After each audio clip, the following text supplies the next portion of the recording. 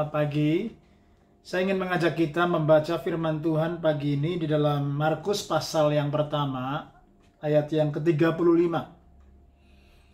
Pagi-pagi benar waktu hari masih gelap, Tuhan Yesus bangun dan pergi keluar.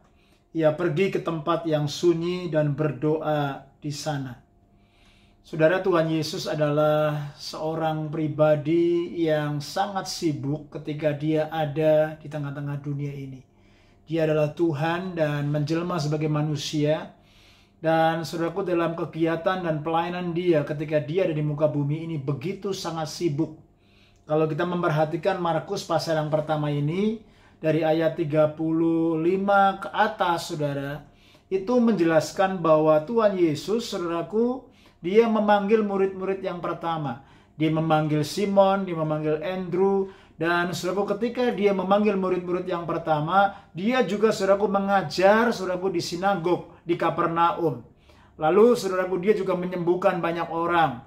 Dia mengusir saudaraku banyak setan-setan. Lalu apa saja saudaraku? Dia menyembuhkan uh, ibu mertua daripada Petrus. Dan banyak orang setiap hari, setiap saat banyak yang datang kepada Tuhan Yesus untuk disembuhkan dan minta dilayani. Jadi saudaraku secara physically Jesus saudaraku begitu capek sekali. Physically saudaraku very tired dan saudaraku yang kedua secara emotionally maybe emotionally drained ya. Kelelahan secara emosi, kelelahan secara fisik. Lalu secara mentally juga maybe saudaraku Tuhan Yesus mengalami exhausted ya mengalami kelelahan mental, fisik, dan juga emosi. Tetapi yang luar biasa, di tengah-tengah kesibukannya, di tengah-tengah demand yang begitu banyak dalam pelayanannya, apa yang Yesus lakukan pagi-pagi benar, dia saudaraku pergi untuk berdoa. Menyendiri dengan Bapaknya, bersekutu dengan Bapaknya, saudara. Dalam sebuah prinsip ini, kita mempelajari saudaraku bahwa ini adalah kunci daripada saudaraku pelayanan Tuhan Yesus. Jadi saudaraku, ketika orang memiliki sebuah purpose dalam hidupnya, maka saudaraku tidak akan bisa dipisahkan dengan kehidupan doanya. Karena saudaraku, ketika Yesus ada dalam dunia ini, dia memiliki sebuah purpose yang luar biasa. Dia tahu destininya, dia tahu bahwa ketika dia ada di muka bumi ini untuk mengenapi rencana dan kehendak Bapaknya. Dan dia mengasihi Bapaknya. Bagaimana saudaraku dibuktikannya ketika dia lelah, dia capek secara fisik, emotionally, mentally, tetapi dia selalu punya waktu untuk berdoa, bersekutu dengan Bapaknya. Saudara, yang pertama saudaraku yang bisa kita simpulkan dari perenungan firman hari ini.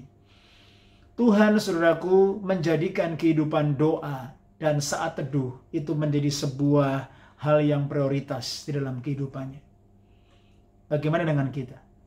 Apakah doa dan saat teduh, silence and solitude moment, every day, every morning, menjadi prioritas dalam kehidupan kita?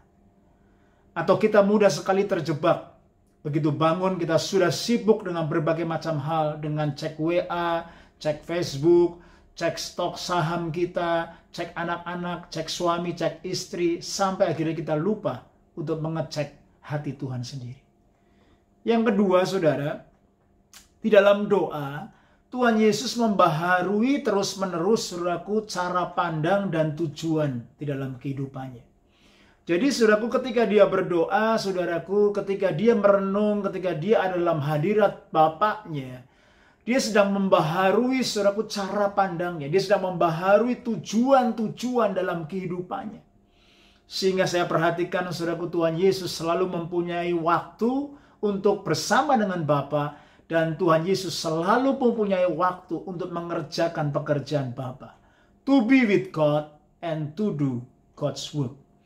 Lalu saudara, ini akan meneguhkan kepada setiap kita bahwa semakin besar saudaraku pelayanan, tuntutan, demand, saudaraku tugas-tugas yang diperhadapkan Tuhan dalam hidup kita. Tentunya akan membawa kita semakin mengandalkan Tuhan semakin berharap kepada Tuhan dan semakin memiliki kehidupan doa yang efektif dan efisien. Karena di situlah saudaraku terletak kekuatan kita. Ingat saudara, to be with Jesus Itu adalah prioritas yang pertama, our primary calling.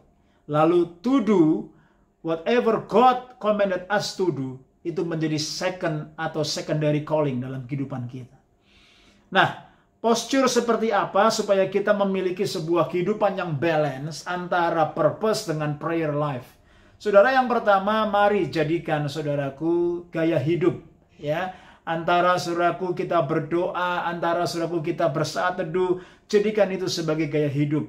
Karena itu adalah kunci untuk kita memiliki sebuah inner man yang tenang. Kunci untuk kita memiliki sebuah inner man yang rested, istirahat di dalam hadirat Allah bukan restless. Hari ini banyak orang restless, tidak bisa istirahat. Tetapi ketika kita rested in the presence of God, kita akan dikuatkan di situ. Lalu yang kedua, terus miliki saudaraku kehausan rohani. Kehausan akan hadirat Allah. Seperti pemazmur yang berkata, jiwaku rindu dan haus seperti rusa yang menantikan sungaimu ya Tuhan. Mari saudaraku biarkan keintiman ini semakin dalam dan semakin kita jaga karena hari-hari ini begitu adalah hari-hari yang jahat. Kita harus semakin, saudaraku, melekat kepada Tuhan. Bagaimana dengan kehidupan kita? Apakah kita masih terus, saudaraku, memiliki sebuah hati dan sikap yang haus, yang rindu untuk bersekutu dengan Tuhan di dalam doa, di dalam saat teduh kita, dan mempertajam cara pandang dan tujuan ilahi di dalam hadirat Allah. Stay strong and stay blessed.